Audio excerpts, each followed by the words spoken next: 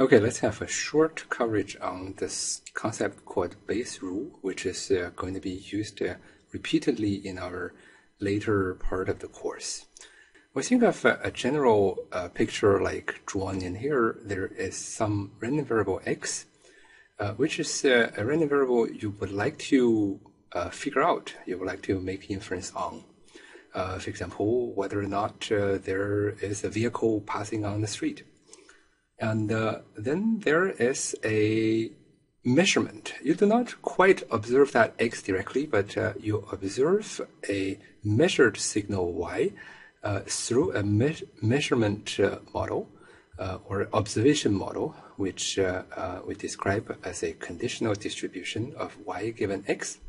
y is what you can observe. It's the observed data or observed signal. When we say observed, is we mean we observe the value of this random variable y. And uh, we also have this model of observation, sort of says that, you know, if there was a car passing by, then how should the y look like? If there was not a car passing by, how should y look like differently, right? So that's the conditional distribution of y given x. Depending on different value of x, what the distributions of y should be. Right, so that's the general uh, picture. We observe now the value of y, and we want to make a guess, make an inference on what value did this hidden random variable x take, which x uh, is more likely in this situation. Well, in the Bayesian setup, there is a very important assumption as we assume a prior distribution of px. px is the distribution of x before you have any observation. We just know there is 20% of the chance there will be a car passing by at any given time, for example. Right? So that's a prior knowledge that you can use to model this random variable x.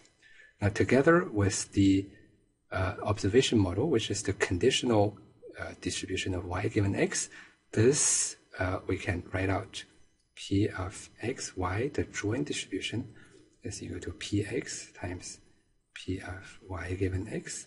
This is the product uh, rule. So the joint distribution between x and y are perfectly given to you. Now our question is, given we have an observation. We observed y equals to this value of y. Now, what is the distribution of x? What can you say about the chance that x take this value or that value? Which one is more likely? Right? So the goal is to calculate this reverse conditional distribution of x given y. Remember this y is what you observed. We want to write out this distribution for every x, for every x. And once we write it out, that's our knowledge of that random variable x given condition on that we observe this variable y.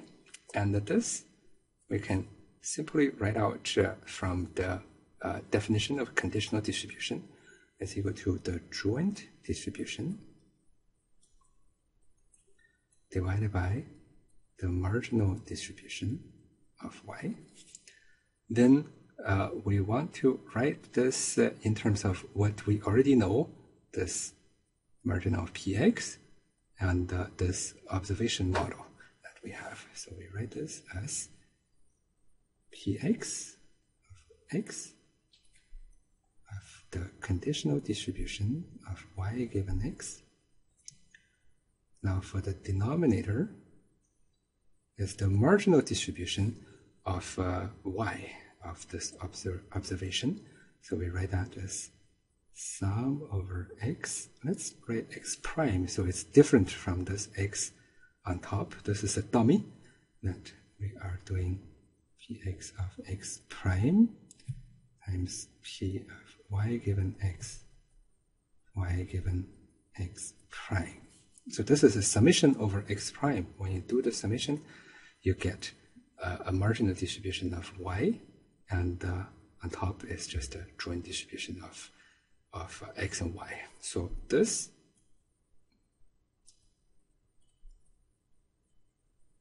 conditional distribution notice y is given and x is the variable that's changing. Now you need to calculate that for every x. This thing is what we call the Bayes rule.